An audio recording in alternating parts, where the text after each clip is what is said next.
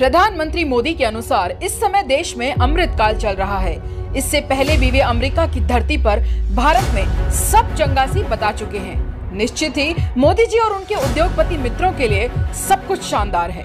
पर क्या बाकी देशवासी भी ऐसा ही महसूस करते हैं? अगर देश की जनता की बुनियादी ज़रूरत की बात करें तो दो वक्त का भोजन सबसे पहली और अहम ज़रूरत होती है। पिछले लगभग एक साल से खाने पीने की वस्तुओं में जिस तरह की बेतहाशा वृद्धि हुई है, उसने गरीब और मध्यम वर्ग की कमर तोड़कर रख दी है। खाने का तेल, राजमा, काबुली चना, चावल, पोहा, दालें, आटा, मैदा और यहाँ तक कि नमक जैसी वस्तुओं में 32 प्रतिशत ऐसी 100 प्रतिशत तक की बढ़ोतरी दर्ज की गई है। यानी एक तरफ़ घर के किराने के सामान में ही 45 प्रतिशत की महँगाई हुई है और दूसरी तरफ़ देश की चौरासी प्रतिशत जनता की आय में गिरावट आई है।